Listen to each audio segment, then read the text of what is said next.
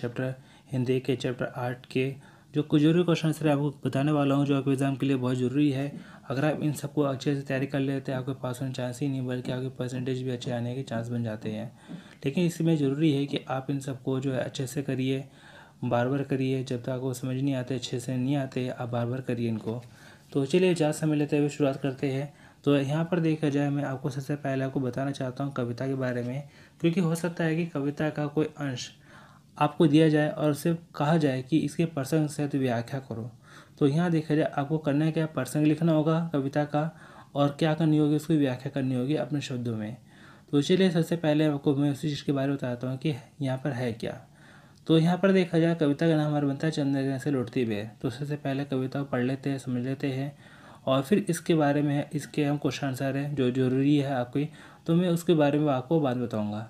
तो सबसे पहले हम कविता है, कविता पढ़ते हैं और उसका मतलब क्या है, थोड़ा सा जान लेते हैं। सबसे पहले यहाँ पर मैं आपको जो है कविता कविता को पढ़ के बता देता हूँ।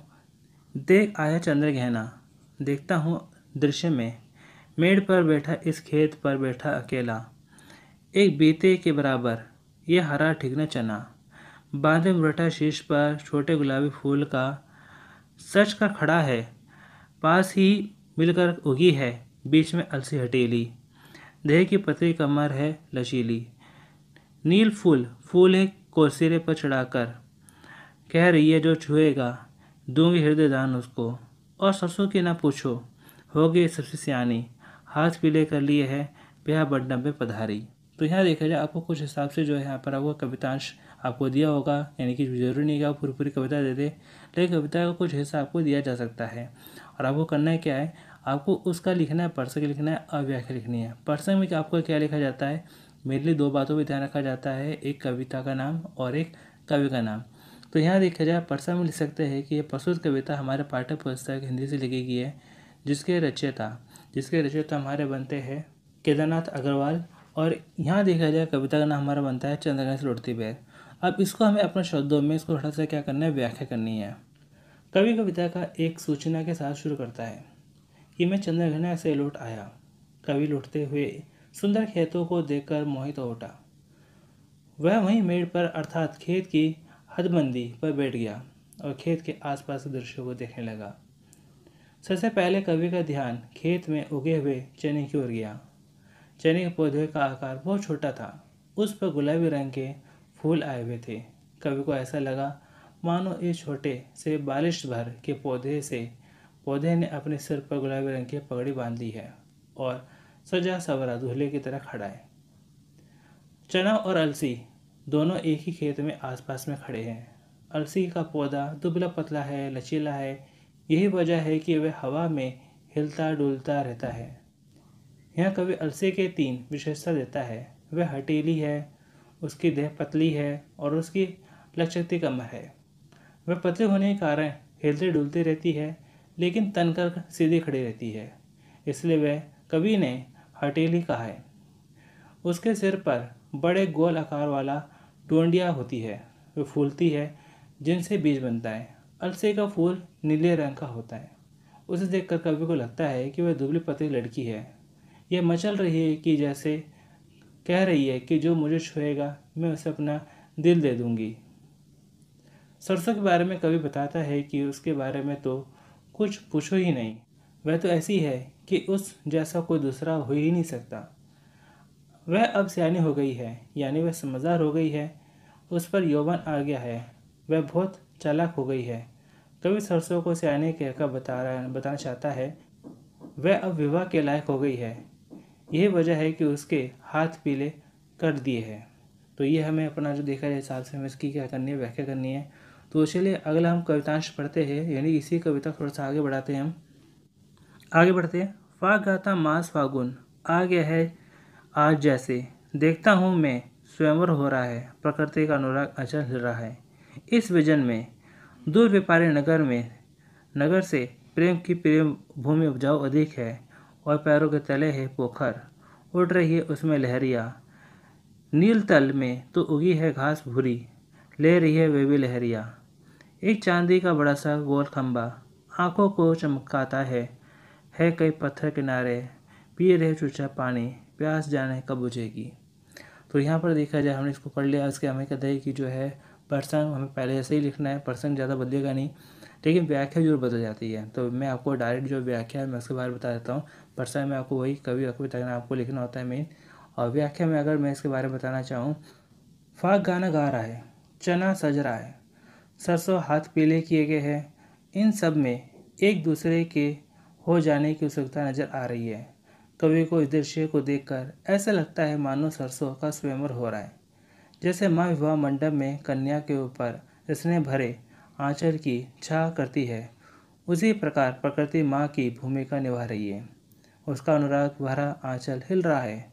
कवि को यह सुंदर दृश्य बहुत अच्छा लगता है। उसे ऐसा लगता है कि गाँव में शहर से ज़्यादा प्यार मिलता है। नौकर का तो जीवन एकदम व्यावसायिक हो गया है। वहाँ प्यार बहुत कम दिखाई देता है। इसके विपरीत, गाँव में प्रेम प्रिय की कोई कमी नहीं है। कभी नीचे तालाब देखता है। तालाब में छोटी छोटी लहरें उठ रही है। यह पोखर, छोटा सा तालाब, इसका जल नीला है। उस पर भूरे रंग की घास उगी है। जब तालाब की लहर उठती है तो घास पर हिलती डोलती है। शाम होने जा रही है। तालाब की सतह पर चाँद की परछाई पड़ रही है। वह बहुत चमकीली है। चाँद को देखकर कवि को ऐसा लगता है कि मानो चांदी का गोल सा बड़ा खंबा है। क्योंकि यहाँ देखा जाए, चाँद की जो परछाई है, पानी में होती है, लेकिन जब पानी जब हिलता है तो चाँद की परछाई भी क्या हो जाती है? वह खिंच जाती है। लगता है कि जैसे पानी में किसी ने चांदी का गोल खंबा रख दिया हो। तालाब के किनारे कई पत्थर पड़े हैं। कभी को लगता है कि पत्थर ना जाने कब से किनारे पड़े हैं, और इस पोखर का, ये तालाब का पानी पी रहे हैं। पर इसकी प्यास अभी तक नहीं बुझी। जब से यह तालाब बना है, तब से पत्थर यहीं पड़े और अपना पानी पी रहे हैं। तो चलिए आगे बढ़ते हैं। तो चलिए, अब जो हम यहाँ पर अपना कविता है, कविता ख़त्म करते हैं और उसके बाद यहाँ पे हम उसके क्वेश्चन से करेंगे। तो यहाँ देखा लास्ट में हमसे कहा जाता है, चुप खड़ा बुगला, डोबाए टांग जल में, देखते ही मीन चंचल, ध्यान निद्रा त्यागता है चट दबाकर जोश में, नीचे गले में डालता है एक काले माथ वाली चतुर चिड़िया श्वेत पंखों के झपाटे मार फ़ौरन टूट पड़ती है भरे जल के हृदय पर। एक उजली चटुर मछली चोंच पीले में दबाकर दौड़ती है गगन में। तो यहाँ देखा जाए, कवि को तालाब में एक बोगला दिखाई जाता है। वह पानी में टांग डूबे है। ध्यान मगन है। ऐसा लगता है जैसे सोया हुआ है। है तो वह सावधान, पर देखने वाले को ऐसा लगता है कि मानो सो रहा है। जो ही कोई चंचल मछली उसे दिखाई देती है, झट उसे घटक जाता है। एक काले माथे वाली चिड़िया अपने सफ़ेद पंख फैलाकर तालाब की सतह पर बैठी है। वह भी झपट कर पानी के भीतर से अपनी पीली चोच में एक उजली सफ़ेद मछली को दबाकर आकाश में उड़ जाती है। तो ये हमें इसमें बताया गया है। तो देखा जाए हमने, अपना देखा जाए, इसकी कविता को पढ़ लिया, समझ लिया। पर्सनल व्याख्या में कैसे करना है कर लिया? अब हमें इसके क्वेश्चन आंसर कर लेते हैं कि इसमें से जुड़े हुए कौन कौन से हमारे जो सवाल बनते हैं। तो चलिए अब सीधा क्वेश्चन आंसर करते हैं हम। प्रश्न पहला प्रश्न पहला हमसे कहा जाता है, प्रेम की प्रिय भूमि उपजाऊ अधिक है, किसके लिए कहा गया और आपके जो ऑप्शन बनते हैं पर आपके सरसों के लिए, व्यापार भूमि के लिए, ग्रामीण परिवेश के लिए, अलसी के लिए। तो बहुत आसान सवाल है, यहाँ पे हमारा बनता है ग्रामीण परिवेश के लिए। तो चलिए आगे बढ़ते हैं। अब बात करते हैं प्रश्न दो की। प्रश्न दो में से कहा जाता है, तालाब के तल में भूरे घास लहरिया क्यों लेती हुई है नज़र आती है? तो यहाँ देखा, तालाब का पानी हिलता है इस कारण, तालाब के नीचे हवा है इस कारण, घास घुंघराली है इसके कारण, मछलियाँ घास को हिला देती इसके कारण। तो देखा है, तालाब का पानी हिलता है इस कारण, क्योंकि यहाँ देखा है, तालाब का पानी हिलता है तो उसके नीचे जो ज़मीन में जो भूरी घास है, वो हमें हिलती हुई नज़र आती है। तो आगे बढ़ते हैं। अब बात करते हैं प्रश्न तीन की। प्रश्न तीन में ऐसे कहा जाता है चाँद गोल खंबा सा क्यों लग रहा है? तो यहाँ देखा जाए, पा जो हमारा पानी है, पानी की में जो देखा जाए, चांदी का गोल खंबा, चाँद की जो परछाई है, चाँद की परछाई है, वो हमें लग रहा है जैसे चाँद का क्या है गोल खंबा है। ऐसा क्यों? पानी हिलने के कारण, पानी ठहरने के कारण, मछलियों के चलने के कारण, बगुले के भय के कारण। तो इसमें हमारा क्या बनता है? पानी के हिलने के कारण। क्योंकि जो चाँद की जो परछाई है, जो पानी पड़ रही है, और जब पानी हिलता है तो पानी हिलने से क्या होती है? परछाई वो खिंच जाती है। और लगता है जैसे कहते हैं क्या है, पानी में जो है क्या है, चाँद का गोल खंबा। तो इसीलिए आगे बढ़ते हैं। अब बात करते हैं पश्चिमी चार की। पश्चिमी चार से कहा जाता है, बगुला किसका प्रतीक है? ये देखा जाए हमारे समाज में, बगुला किसका प्रतीक है? तो शोषित का, मजदूर का, भूखे व्यक्ति का, शोषक का। तो ये हमारा बनता है शोषक का, कि जो व्यक्ति यहाँ पे समाज में सीधे साधे लोगों का फ़ायदा उठाते हैं, वो व्यक्ति कौन है? शोषक। तो इसीलिए आगे बढ़ते हैं। अब बात करते हैं प्रश्न पाँच की। प्रश्न पाँच में से कहा जाता है, कविता के आधार पर चने के सौंदर्य का चित्रण कीजिए, क्योंकि यहाँ देखा जाए खेत में जो चने का पौधा है, वो कवि को दिख रहा है तो वो क्या कल्पना कर रहे हैं उसको देखकर। खेत की मेड़ पर बैठे कवि का ध्यान चने पर जाता है। चने का पौधा आकार में छोटा होता है, चने में गुलाबी रंग के फूल आए हुए हैं। कवि को लगता है कि यह पालिश भर का यानी छोटे से कद का अपने सर पर गुलाबी पगड़ी बांधे सजरा सजा सवरा दूल्हा जैसा खड़ा है। तो ये हमारा लगता है जैसे चना है और चना जो हमारा यहाँ पर क्या है, दूल्हा बनकर बैठा हुआ है, क्योंकि यहाँ पर पता है क्या जो दूल्हा होता है, वो गुलाबी रंग की पगड़ी बांधे हुए बैठा है। तो इसीलिए आगे बढ़ते हैं। अब बात करते हैं प्रश्न छः की। प्रश्न छः में ऐसा कहा जाता है, सरसों को हो गए सियानी, सबसे कहा गया तो बहुत ज़रूरी सवाल है, क्योंकि ये सवाल देखा जाए आपके एग्ज़ाम में कई बार आ चुका है। तो इस सवाल हमसे पूछा जाता है कि सरसों को हो गई सबसे सियानी, यानी कि हाँ सरसों को सियानी क्यों कहा गया है? तो बहुत आसान जवाब है और बहुत ज़रूरी सवाल है। कवि ने सरसों को सौंदर्य का वर्णन करते हुए कहा है कि वह निराली है। वह अब सियानी हो गई है, अर्थात समझदार हो गई है, चतुर हो गई है, वह युवा हो गई है। उसमें यौवन फूट रहा है वस्तुतः वह कवि का संकेत दे रहा है कि अब विवाह योग्य हो गई है। अतः इसका विवाह कर देना चाहिए। मतलब देखा जाए सरसों के जो खेत होते हैं, जो पक्के तैयार होते हैं तो पूरा जो खेत है, हर तरफ़ जो पीला ही पीला नज़र आता है। तो वो एक तरह से कहते क्या हो चुका है? सियाना हो चुका है, बड़ा हो चुका है, और वो फ़सल जो है पक्के तैयार हो चुकी है। तो ये इसमें बताया गया है। तो चलिए आगे बढ़ते हैं। अब बात करते हैं प्रश्न सात की। प्रश्न सात में ऐसे कहा जाता है, व्यापारी नगर की अपेक्षा ग्रामीण अचल को प्रेम के लिए क्यों उर्वर क्यों माना गया है? कि इसमें बताया गया है, आपको पूछा जाता है कि जो जो हमारा पर गाँव है, वो शहरों की तुलना में ज़्यादा अच्छा माना जाता है। क्यों?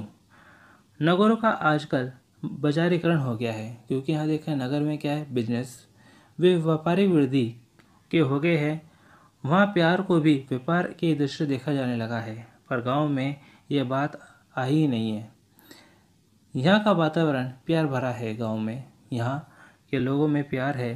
प्यार के लिए गाँव की भूमि अधिक ज़्यादा उपजाऊ होती है, क्योंकि शहर में क्या है कि हमारे पड़ोस में कौन रह रहा है, कौन आ रहा है, जा रहा है, हमें ही नहीं पता। जबकि गाँव में क्या होता है कि जो है, हर परिवार को दूसरे परिवार की क्या रहती है, खबर रहती है कि कहाँ, कब किसी शादी होनी है, कब किसका क्या होना है, कौन क्या कर रहा है। तो हर किसी को अपने एक दूसरे की खबर रहती है और एक दूसरे को सपोर्ट भी करते हैं। और एक दूसरे अपना सुख दुख में जाते भी हैं, हर तरह के त्यौहार वगैरह मनाते भी हैं। और यहाँ तो देखा जाए, शहरों में हमें रहते हुए भी कई सारे में त्यौहार, हमें पता नहीं रहता कि कब कौन सा त्यौहार आया और गया। तो देखा जाए, इस वजह से जो यहाँ पर कहा गया है कि गाँव, कि हमारा जो गाँव है, गाँव हमारा देखा जाए, शहरों के तुलना में ज़्यादा अच्छा है। किस चीज़ को लेकर, प्रेम को लेके संस्कृति को लेके, प्यार मोहब्बत को लेके, इज़्ज़त को लेके, कई चीज़ों को लेके हमारा देखा जाए ज़्यादा इसमें अच्छा बताया गया है। तो इसीलिए आगे बढ़ते हैं। अब बात करते हैं प्रश्न नंबर आठ की। प्रश्न नंबर आठ में ऐसा कहा जाता है, एक चांदी का बड़ा सा गोल खंबा का चित्र अपने शब्दों में स्पष्ट कीजिए। मतलब यहाँ पे देखा जाए, जो यहाँ पे एक चांदी का बड़ा सा गोल खंबा, जो यहाँ पे वाक्य आया था, इसका मतलब क्या बनता है? तालाब में चाँद की परछाई चमक रही है। उसकी चमक आँखों को चुंधिया देती है। कवि कल्पना करता है कि वह चाँद नहीं है, बल्कि चांदी का एक बड़ा सा गोल खंबा लगता है। असल में तालाब का जल हवा की वजह से हिल डुल रहा है। उसमें लहरें उठ रही है। तालाब वाले तालाब में, लहरों वाले तालाब में किरणों के फिसलने के कारण चाँद लंबा दिखाई दे रहा है। इसलिए कवि को लगता है कि चाँद, चांदी का एक बड़ा सा गोल खंभा है। तो इसीलिए आगे बढ़ते हैं। एक और हमारा जो सवाल बनता है। प्रश्न नंबर यहाँ पे नौ। नौ में आपसे कहा जाता है, बोगला समाज के किन लोगों का प्रतीक है? कि यहाँ पे आपको बताना है। कि बोगला है। बोगला यहाँ पर समाज में किन लोगों का प्रतीक माना जाता है, किन लोगों का चिन्ह माना जाता है? बोगला समाज के उन ढोंगी लोगों का प्रतीक जो दिखावा कुछ करते हैं और आचरण कुछ और होता है। इससे समाज में एक कहावत भी प्रसिद्ध है, बोगला भगत। कविता में भी ऐसा ही एक ढोंगी, बोगला ध्यान लगाए बैठा है। पर जैसा कि मछली दिखाई देती है और फट से उसको निकल जाता है, ये हमारा बनता है बोगला समाज में एक तरह धूर्त चालाक लोगों का प्रतीक है कि जो दिखते कुछ और है, होते कुछ और है। दिखते हैं साधु सज्जन टाइप लोग, लेकिन क्या है कि अपना जो देखा जैसे अपना सीधे साधु लोग देखते हैं, उन्हें अपना शिकार बना लेते हैं। तो चलिए आगे बढ़ते हैं। अब बात करते हैं प्रश्न नंबर दस की। प्रश्न दस में ऐसा कहा जाता है, तालाब के पत्थर को देख कर कवि ने क्या कल्पना की है? कि यहाँ देखा जाए, तालाब है। तालाब में वहाँ पे गलती क्या है, कुछ पत्थर है। कुछ पत्थर है, जो कुछ पत्थर टुकड़े हैं, वो पानी के अंदर है, कुछ पानी के बाहर है कुछ आधे पानी में, कुछ आधे बाहर है तो उनको देख के कवि ने क्या कल्पना की है? तालाब किनारे पत्थर को देखकर कवि का कल्पना करता है कि ये पत्थर न जाने कब से इस तालाब का पानी पी रहे हैं, पर अब तक इनकी प्यास नहीं बुझी। तालाब के किनारे पड़े पत्थर के संबंध में कल्पना कर दोनों के सहचारी कल्पना कर रहा है। भले सिंपल सा देखा जाए कभी कहना चाहता है कि तालाब में पड़े पत्थर लग रहा है जैसे कहते पानी पी रहे हैं।